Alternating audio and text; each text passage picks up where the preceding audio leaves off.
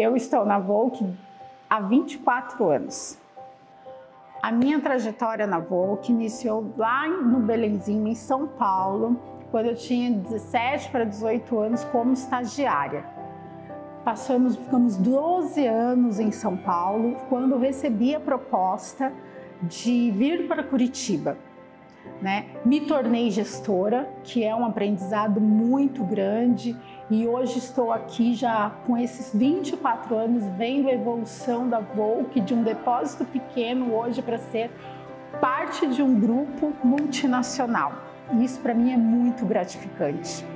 Uma superação que eu tive aqui foi me tornar gestora, foi a mudança também e, mas o grande mesmo assim é uma superação que eu tenho a cada momento, tanto quanto o aprendizado, que é lidar com pessoas.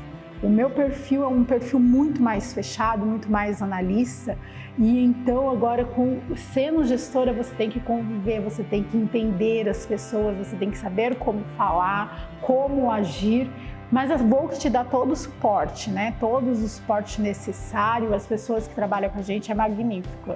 Uma palavra que representa a Volk para mim é família. Afinal, são 20, muitas horas de convivência, muito mais do que a minha própria família. Então, eu começo aqui de manhã, vou até a final do dia e para mim é uma família.